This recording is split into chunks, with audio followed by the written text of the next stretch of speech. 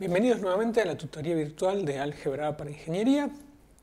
Acá estamos presentando el segundo problema que vamos a hacer el día de hoy, que es dado mm, un subespacio definido por sus generadores, encontrar una base, encontrar si es eso o no una base y encontrar una base de ese subespacio. Y una vez que tenemos la base, decir la dimensión del espacio.